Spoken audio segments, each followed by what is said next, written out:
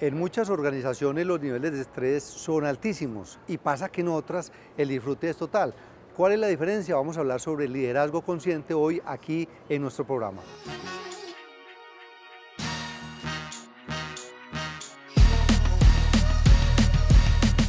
Jordi, bienvenido para que hablemos sobre un tema bien interesante como es el del liderazgo consciente.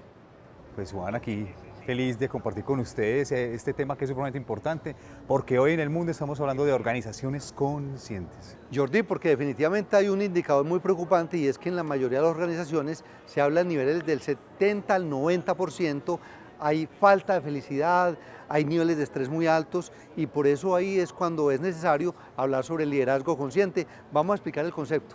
Sí, Juan, estamos hablando de liderazgo consciente y lo que decíamos ahora es que a nivel mundial se está generando un concepto que es muy importante ya y que está entrando en América Latina, es acerca de las organizaciones conscientes. Pero ¿qué es una organización consciente? Yo pienso que decías ahorita un dato supremamente importante. Las organizaciones conscientes son aquellas organizaciones en las cuales se disfruta y se entiende como ese concepto que lo habíamos escuchado hace mucho rato, de organizaciones que están vivas, que pulsan, que tienen una dinámica. Entonces, cuando hablamos de organizaciones conscientes, se habla también de organizaciones que tienen coherencia y personas que disfrutan su rol, no que lo sufren.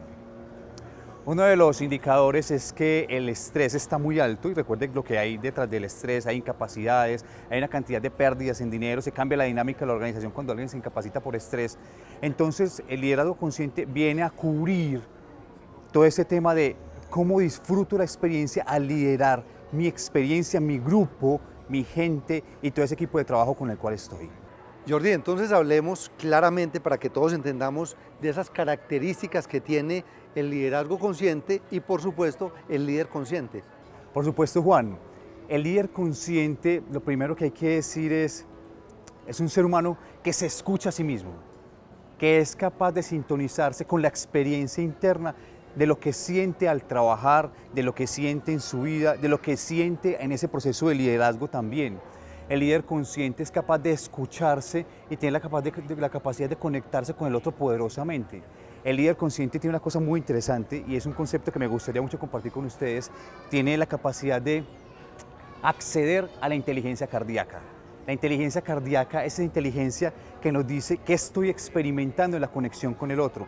Y el líder consciente se hace cargo de una cosa muy importante, es yo qué siento en la conexión con el otro y el otro qué siente en la conexión conmigo. Definitivamente es cuál es la experiencia que estamos viviendo juntos y la co-creación que estamos haciendo en este proceso que estamos juntos. Todos vamos para el mismo lado, porque estamos cumpliendo objetivos comunes. ¿Qué vamos a hacernos cargo de experimentar en todo este camino? Esa es la organización consciente y ese es el liderazgo consciente.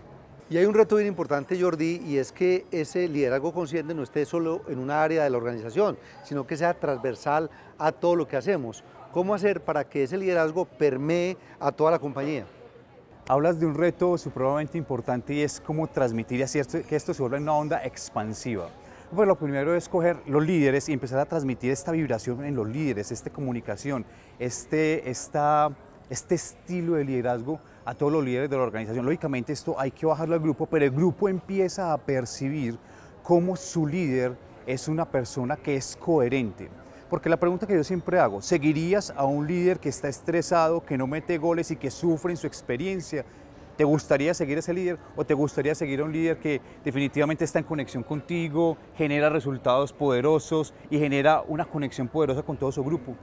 Entonces esto se vuelve una onda expansiva que hace que la organización empiece a sentirse como ese ente vivo donde se pulsa y se respira. Cuando tú entras a una organización consciente, tú sientes desde ese primer saludo, esa conexión, que algo extraordinario está pasando.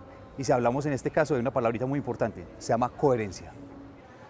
Jordi, qué tema tan interesante y tan útil. Esperamos que para muchas personas eh, les sea de mucho beneficio en lo que hacen y además que nos ayuden a, que le llegue a muchas otras personas a través de las redes sociales, a través de divulgarlo por el mismo canal de YouTube. Gracias por estar con nosotros, Jordi. Juan, gracias por la invitación y feliz de compartir con ustedes estos temas apasionantes del todo el tema del liderazgo de las organizaciones y ahora con un tema muy importante que quiero invitarlos para que se inquieten por él.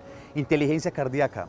En la parte organizacional es muy importante en el tema del liderazgo. Realmente aprendernos a escuchar qué estamos experimentando en nuestra vida es muy, pero muy poderoso. Así que gracias por la invitación. Bueno, muchísimas gracias, Jordi. Este es Negocios en tu Mundo, inspiración para la acción y la invitación para que actúen justamente dándole clic donde está la campanita y se suscriban a este canal.